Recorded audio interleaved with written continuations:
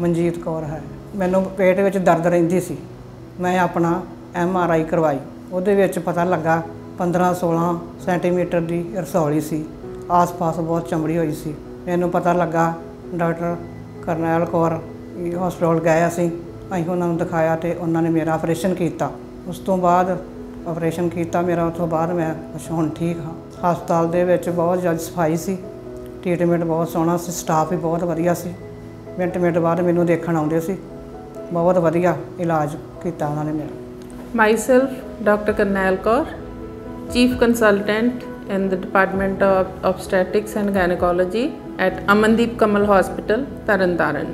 ਹੁਣੇ ਹੀ ਜਿਹੜਾ ਪੇਸ਼ੈਂਟ ਮਨਜੀਤ ਕੌਰ ਜੀ ਆਪਣੀ ਗੱਲ ਦੱਸ ਰਹੇ ਆ ਇਸ ਪੇਸ਼ੈਂਟ ਦੀ ਐਕਚੁਅਲ ਪ੍ਰੋਬਲਮ ਇਹ ਸੀ ਕਿ ਇਹਦੀ ਓਵਰੀ ਦੇ ਵਿੱਚ ਇੱਕ ਬਹੁਤ ਵੱਡਾ ਟਿਊਮਰ ਸੀਗਾ ਜਿਹੜਾ ਕਿ ਧੁੰਨੀ ਦੇ ਲੈਵਲ ਤੋਂ ਵੀ ਉੱਪਰ ਜਿਹਨੂੰ ਅਸੀਂ ਯੂਜ਼ਲੀ ਆਪਣੀਆਂ ਗਾਇਨੀ ਟਰਮਸ ਦੇ ਵਿੱਚ 26 ਟੂ 28 ਵੀਕਸ ਪ੍ਰੈਗਨੈਂਸੀ ਸਾਈਜ਼ ਕਹਿੰਦੇ ਆ ਸੀਗਾ ਇਹ ਪੇਸ਼ੈਂਟ ਕਾਫੀ ਜਗ੍ਹਾ ਤੋਂ ਆਪਣੀ ਕੰਸਲਟੇਸ਼ਨ ਲੈ ਰਿਹਾ ਸੀਗਾ ਐਂਡ 2 3 ਪਲੇਸਿਸ ਤੋਂ ਪੇਸ਼ੈਂਟ ਦੇ ਦੱਸਣ ਮੁਤਾਬਕ ਇਹਨੂੰ ਆਲਰੇਡੀ ਨਾ ਹੋ ਚੁੱਕੀ ਸੀ। Then this patient approached me and uh, examination ਦੇ ਸੀ ਦੇਖਿਆ ਕਿ it is a big ovarian tumor ਜਿਹਦੀ ਕਿ ਸਰਜਰੀ ਹੋਣੀ ਚਾਹੀਦੀ ਸੀ। ਬਟ ਬੀਇੰਗ ਸੋ ਬਿਗ ਇਸ ਪੇਸ਼ੈਂਟ ਦੇ ਵਿੱਚ ਕਈ ਪ੍ਰੋਬਲਮ ਸੀਗੀਆਂ। ਜਿਸ ਤਰ੍ਹਾਂ ਫਸਟ ਆਫ ਆਲ ਇਹਦੀ ਇਹ problem C is age factor she is 65 plus ਦੂਸਰਾ ਸੀਗਾ ਕਿ ਇਹ ਪੇਸ਼ੈਂਟ ਨੂੰ ਹਾਰਟ ਦੀ ਵੀ ਪ੍ਰੋਬਲਮ ਹੈ she is diabetic also blood pressure ਦੀ ਵੀ ਪ੍ਰੋਬਲਮ ਸੀਗੀ।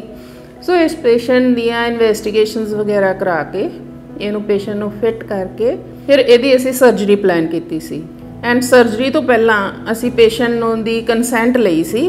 ਕਈ ਵਾਰੀ ਇੰਨਾ ਵੱਡਾ ਟਿਊਮਰ ਹੋਵੇ ਤਾਂ ਵੱਡੀ ਆਂਤੜੀ ਜਾਂ ਛੋਟੀ ਆਂਤੜੀ ਦੀ ਸਮ ਟਾਈਮਸ ਰਿਸੈਕਸ਼ਨ ਕਰਨ ਦੀ ਜ਼ਰੂਰਤ ਪੈ ਜਾਂਦੀ ਹੈ। ਅਗਰ ਉਹ ਬਹੁਤ ਜ਼ਿਆਦਾ ਜੁੜੀਆਂ ਹੋਣ, ਕਿਉਂਕਿ ਇਸ ਪੇਸ਼ੈਂਟ ਦੀ ਆਲਰੇਡੀ ਬੱਚਾਦਾਨੀ ਦਾ ਆਪਰੇਸ਼ਨ ਪਹਿਲਾਂ ਹੀ ਹੋ ਚੁੱਕਾ ਸੀ। And patient was ready patient ਨੂੰ ਦੱਸਿਆ ਗਿਆ ਸੀ ਕਿ ਅਗਰ ਇਹ ਸਭ ਕੁਝ ਅੰਦਰ ਸਾਨੂੰ ਜੁੜਿਆ, ਲੱਭਦਾ ਹੈ, ਕਿਤੇ ਸਾਨੂੰ ਕੱਟਣ ਦੀ ਜ਼ਰੂਰਤ ਪੈ ਜਾਂਦੀ ਹੈ ਤੇ ਹੋ ਸਕਦਾ ਤੁਹਾਨੂੰ ਲੈਟਰਿਨ ਵਾਸਤੇ ਜਿਹਨੂੰ ਕਿ ਅਸੀਂ ਕਲੋਸਟਮੀ ਕਹਿੰਦੇ ਆ ਬੈਗ ਲਗਾਉਣ ਦੀ ਜ਼ਰੂਰਤ ਪੈ ਸਕਦੀ ਹੈ। ਐਂਡ ਜਿੱਥੋਂ ਕਿਉਂਕਿ ਪੇਸ਼ੈਂਟ ਆਲਰੇਡੀ 2-4 ਜਗ੍ਹਾ ਤੇ ਅੱਗੇ ਵੀ ਹੋ ਕੇ ਆਇਆ ਸੀ she knew about it patient ਨੇ ਸਾਨੂੰ ਕੰਸੈਂਟ ਦਿੱਤੀ। ਦੈਨ ਅਸੀਂ ਇਹਦੀ ਸਰਜਰੀ ਪਲਾਨ ਕੀਤੀ ਪ੍ਰੋਪਰ ਸਾਰੀਆਂ ਪ੍ਰੀਕਾਸ਼ਨਸ ਲੈ ਕੇ। ਐਂਡ ਹੋਪਫੁਲੀ ਪੇਸ਼ੈਂਟ ਨੂੰ ਲੱਕੀਲੀ ਸਾਨੂੰ ਜ਼ਰੂਰਤ ਨਹੀਂ ਪਈ ਕਲੋਸਟਮੀ ਦੀ। We were able to remove all the adhesions gut sorry small gut ਜਿਹਨੂੰ ਅਸੀਂ ਕਿ ਛੋਟੀ ਆਂਤੜੀ ਕਹਿੰਦੇ ਆ ਲਾਰਜ ਗੱਟ ਵੱਡੀ ਆਂਤੜੀ, ਉਹ ਸਭ ਨਾਲ ਜੁੜੀਆਂ ਹੋਈਆਂ ਸੀ। ਅਸੀਂ ਆਪਣੇ ਨਾਲ, ਸਾਡੀ ਟੀਮ ਦੇ ਇੱਕ ਬਹੁਤ ਹੀ ਮਾਹਿਰ ਸਰਜਨ ਨੇ ਡਾਕਟਰ ਪਰਮਜੀਤ ਸਿੰਘ ਕਾਲੋਂ, ਉਹਨਾਂ ਨੂੰ ਨਾਲ ਲਿਆ ਸੀ। ਉਹਨਾਂ ਦੀ ਹੈਲਪ ਦੇ ਨਾਲ ਅਸੀਂ ਇਹ ਟਿਊਮਰ ਜਿਹੜਾ ਕਿ 26 ਵੀਕਸ ਪਲੱਸ ਸਾਈਜ਼ ਦਾ ਸੀਗਾ, ਬਹੁਤ ਸਕਸੈਸਫੁਲੀ ਰਿਮੂਵ ਕੀਤਾ।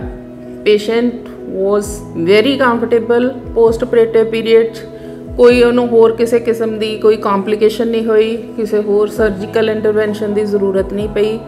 ਐਂਡ ਫੋਰਥ ਡੇ ਤੇ ਪੇਸ਼ੈਂਟ ਠੀਕ ਹੋ ਕੇ ਆਪਣੇ ਘਰ ਚਲੇ ਗਏ and now she is coming to us for her post operative follow up patient is very happy and same way we are also happy ਕਿ ਇਹ ਇੱਕ ਬਹੁਤ ਹੀ ਕਾਮਯਾਬ ਸਰਜਰੀ ਕਰਨ ਦੇ ਵਿੱਚ ਸਾਨੂੰ ਸਫਲਤਾ ਮਿਲੀ।